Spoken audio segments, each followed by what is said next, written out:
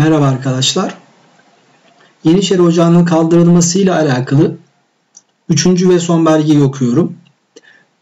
Bu daha önceki günlerde okuduğum iki belgeyle birlikte bu belgenin de yorumlanmasını, o dönem olan olayları da izah ederek önümüzdeki günlerde ayrı bir video olarak sizlerle paylaşacağım. Evet, üçüncü belgeye başlıyorum. Mülga Yeniçeri Ocağı'nın yevmiyelerine dair derdes-i defatir olup olmadığı defterlerde bulunması, defterin çoğu defatir, şifahen sadır olan fermanı alileri mucibince padişahın fermanında bunun bulunup bulunmadığı sorulmuş. Padişah bunu sormuş. Gereğince Şakirtler Halifesi Ali Efendi. Evet Şakirtler Halifesi e, Yeniçeri Ocağı'nın 65. sekban ortasına mensup A kapısındaki kalemde çalışan memurlardır. Bunların katipleridir. Kulları nezdi çakeriye yani benim nezdime celp ile çağırarak ledes sual ona sorulmuş bunu yazan kişi tarafından. Yevmiyelerin nizamını havi ve kuyudatını muhtevi yani kayıtlarını içeren olup muhtevi olup şakitler halifesi olanların yedilerinde olan ellerinde olan ceride ve defatirin cümlesini bundan aktem getirip teslim etmiş tüm defterleri teslim ettiğini ve artık yeni defterin kalmadığından bahsetmiş oluyor. Ve el haletü hazihi şu an bu durumda Arapça bir ibaredir. Gerek kendisinde ve gerek sair ketebesi ve diğer altında bulunan katiplerde yedilerinde husus-ı meskura dair adı geçen bu konuya dair defter ve evraka müteallık bir şey kalmamış idüğünü ifade eylemiş ve ocağı umur ve sair ma'an mahvü ilga olunan ocakla birlikte kaldırılan cebehane ve sipah ve silahdar ve bölükat ı erbaa ocaklarının burada kaldırılan diğer ocaklardan bahsetti. Bölükan erbiya dört bölük demektir. Bunlar sağ ve sol ulufeciler ve sağ ve sol garipler olarak geçen Yeniçeri Ocağı'na bağlı sipahi bölükleri dört tane.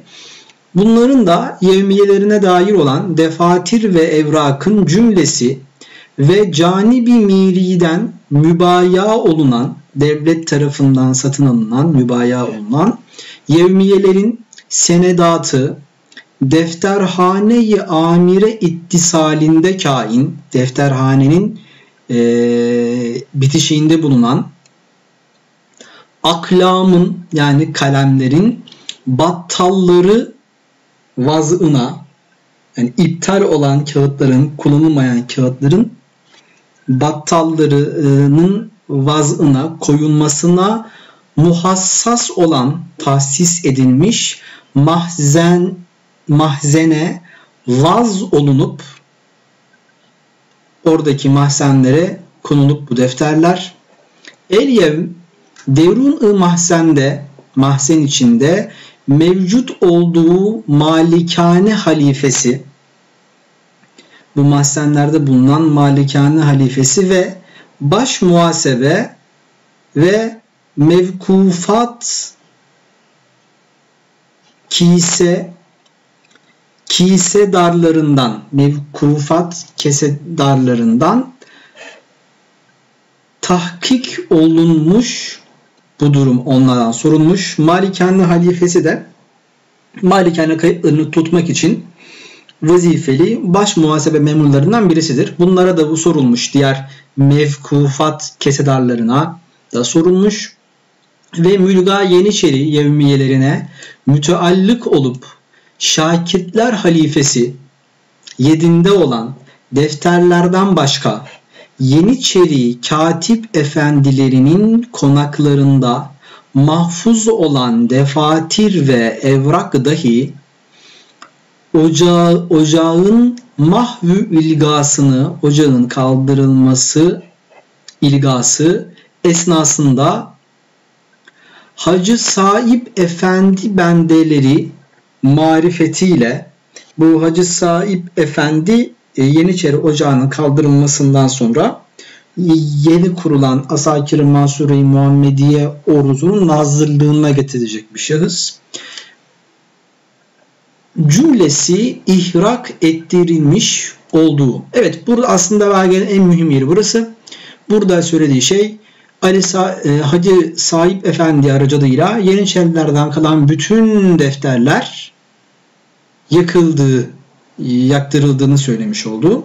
Olduğu haber verilmiş olmalı. Mahzen-i meskurda mahfuz olan defatir ve evrak-ı saire bir lüzum olduğuna binaen, gereksiz olduğuna binaen tarafı çakeriden yani benim tarafımdan, kulunuz tarafından adam tayiniyle hiçbirisi terk olunmayarak Ayasofya hamamının külhanına ilga ile ihrak olunarak cümlesinin tüm defterlerin itilaf ettirilmesi muvafık emri samileri ise Evet burada Sadrazam Paşa'ya büyük ihtimalle bir arz gitmiş. Kimin gönderdiğini maalesef sadece bu belgeden bilemiyoruz. Ee, Cevdet tasnifinde bulunan bir belge onu bilebiliyorum sadece. Bu belgenin özetinde kısaca onu söyleyeyim. Kalan bütün defterlerin tabi bulun, bulunabildiği kadarıyla o dönem için bütün defterlerin Ayasofya e, hamamı külhanlarında yakıldığı ve bunun içinde yakılması için de e, Sadrazam Paşa'dan izin talep edildiğine dair bir yazı okumuş olduk. Altta da tarihimiz var. 29 Safer sene 1243 yapıyor. Şu 2 ile 3 arasındaki farka dikkat. Rika yazıda şu 2'dir, bu da 3'tür. Çok karıştırılır genelde. Evet bu da 21 Eylül 1827 yılına tarihine tekabül ediyor arkadaşlar. Evet bu 3 belgenin yorumlanmasını önümüzdeki günlerde ayrı bir video halinde yapacağım.